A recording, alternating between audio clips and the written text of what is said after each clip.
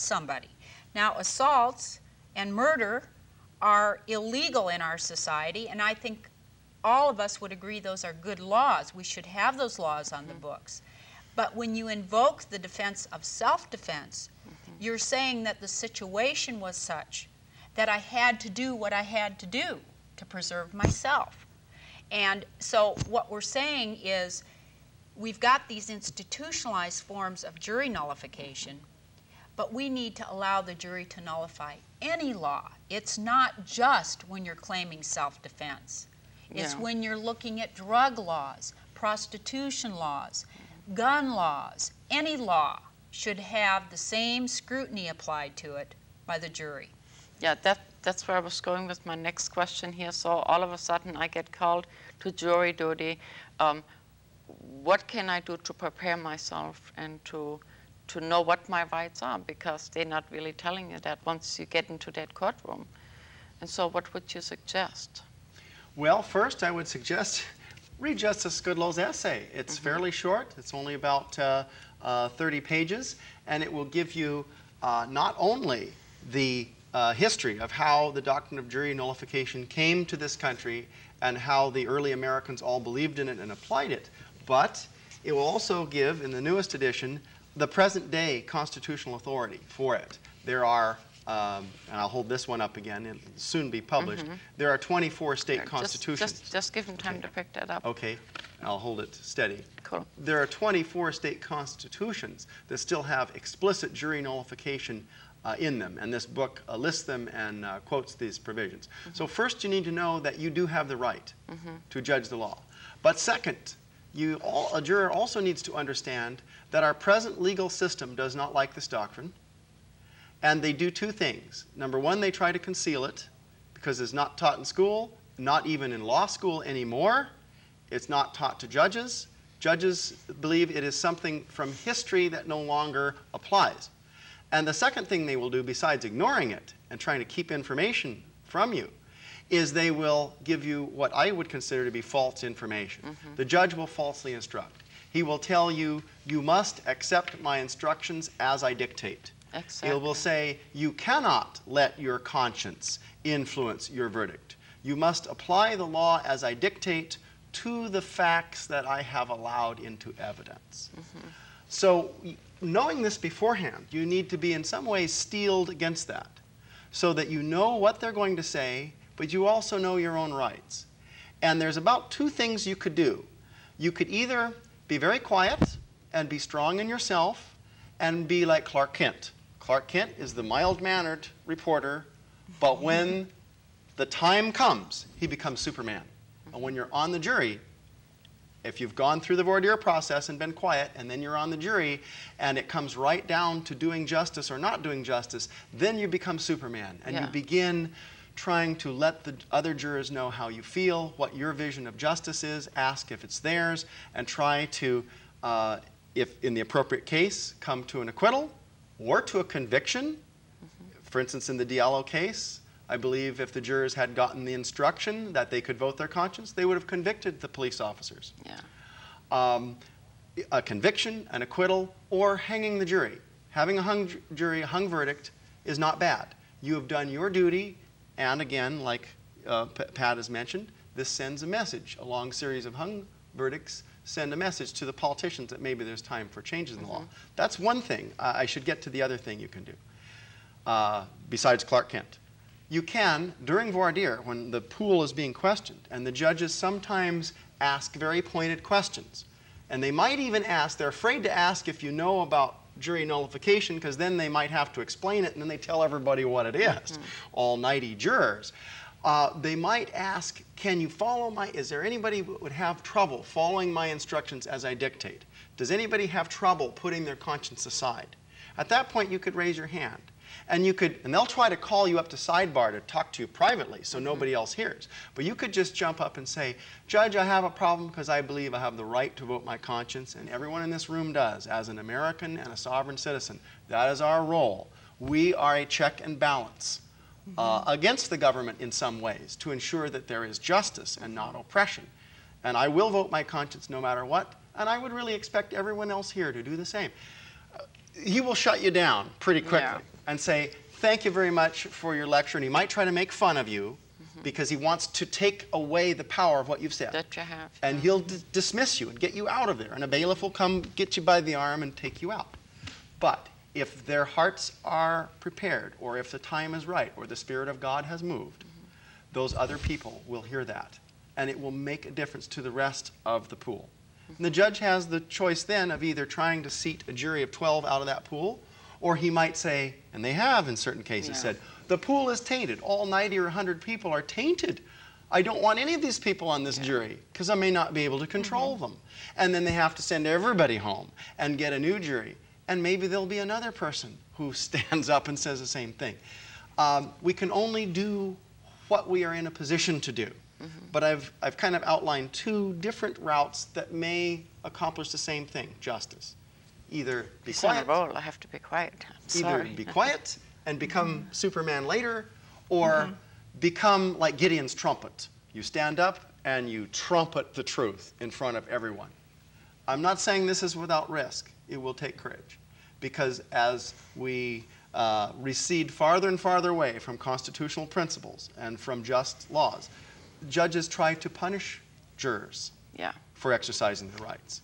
And we're getting back to those times before William Penn, when they would tell the jury, you vote our way like we tell you, or we punish you.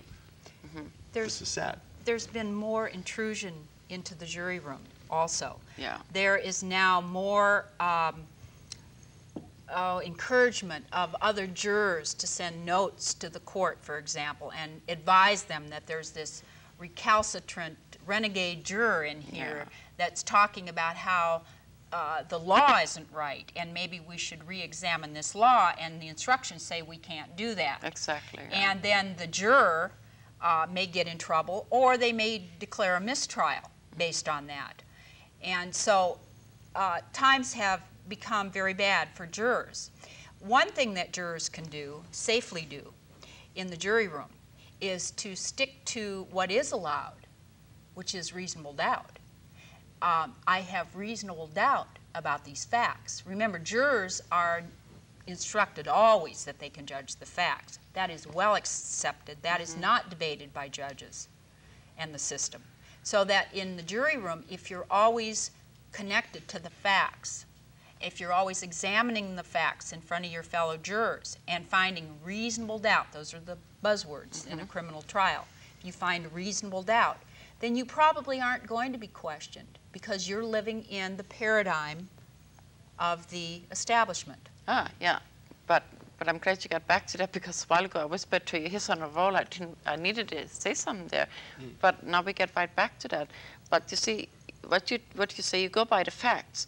But earlier he was talking about your conscience. If your hmm. conscience and the facts don't mix, then you do have the right to. You have the right to vote your you conscience. should, yeah. You, mm-hmm. and, and it's, it's in some ways beyond the Constitution, or how should I say, it's foundational, uh, primordial in a way. The Constitution says, We the people do ordain and establish this Constitution. The people made the Constitution. And there's about 40 state constitutions that says all political power is inherent in the people.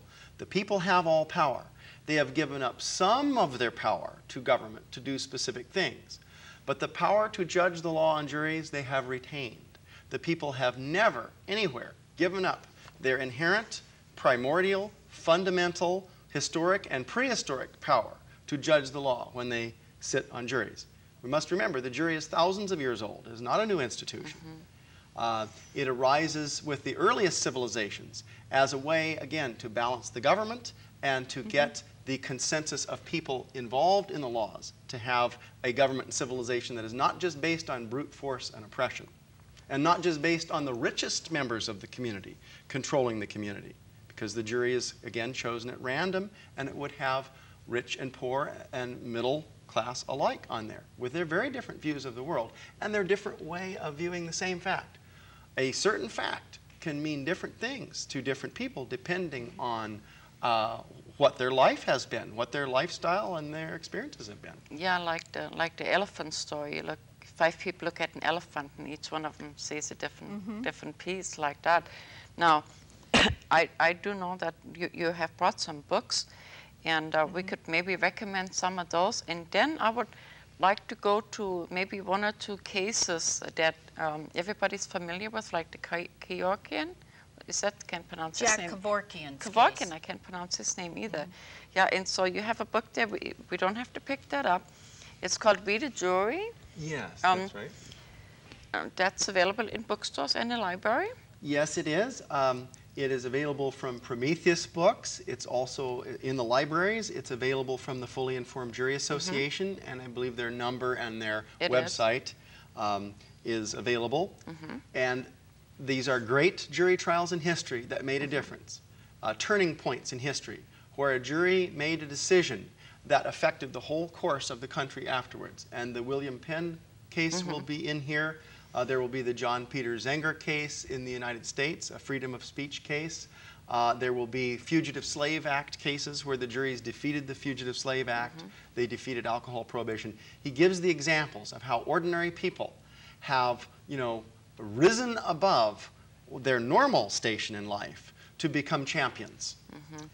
And then the next Uh, Oh. Tom, uh, I don't mean to interrupt, but we should give some kudos to the author, Godfrey Lehman, uh, if I may. Go ahead, Yeah, yes, uh. Godfrey Lehman is a, an older gentleman. He lives in San Francisco, and he is probably one of the top uh, experts on the jury system, both from a historical standpoint, a legal standpoint, a moral standpoint. He has written extensively on juries. And so this book is really a gem. It is also, by the way, available from Laissez-Faire Books. Maybe some of your readers get their catalog, and so they did carry Yeah. his book. Yeah, we can put that out there. I, I don't know exactly. And then this one, um, the, the, my book is there too because I look at some of these things from my perception and some, mm-hmm. it's my life story, so I've run into a thing or two in my lifetime, and that's why my book is there. And the moral of the story is, in this one is, what is this one? I can't see that. That's Clay Conrad's book, I believe. Maybe we could say something about that for a minute. I, I should defer to you. I've been talking quite a bit.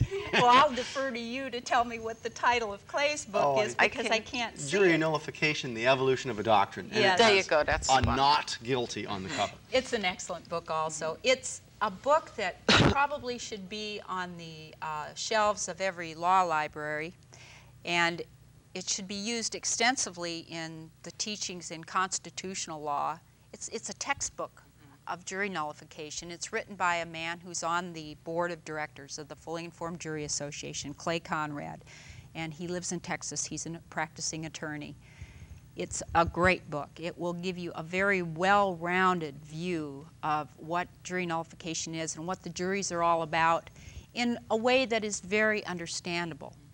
It is a little different from Godfrey's book. Godfrey's is a little more anecdotal, or I should say case specific, and Clay's is more of a textbook approach. But they're both wonderful books. And then I want to give you credit here on, on the essay here. You was one of the one of the people that um, did the research for some of this. What, uh, what I did was, uh, a lot of the research had already been done, and I was a citation checker. In a way, that's like a legal gopher. What you do is there's a citation, and other people have come up with the citation or discovered it. But uh, human beings having certain frailties Right. and the light being bad at night or whatever, they might have gotten the citation wrong, or the legal passage may not say exactly what they have represented to say in the past. And my job was to look up as many of these cites as humanly possible that you could find in law libraries and on the internet and make sure everything was correct.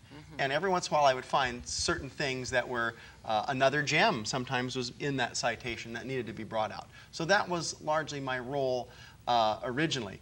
What has happened since then is that uh, the Fully Informed Jury Association felt that the current constitutions that are on the books today, that those provisions should be brought out explicitly. And so I wrote first a letter to the Washington State Bar News, a lengthy one, and then uh, that was later worked into a preface to Justice Goodlow's essay, this, this essay. And that uh, it will be in the new edition. Yeah, now see, gopher is always good because that's how we can find out what we're made of because we're not we're not handicapped. Just like when we do these shows, you know, we can speak our mind and everything. And it is so Im important that the jury has all the facts because we're going to build up to a cliffhanger here because in a few weeks uh, you